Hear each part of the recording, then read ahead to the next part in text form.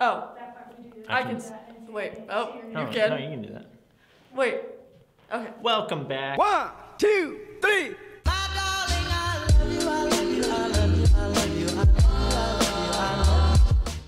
Welcome back to Summit News. I'm Isabel, and this is my co-host Joel. Hi. We invite everyone to come out April 21st to our worship night at 7 p.m.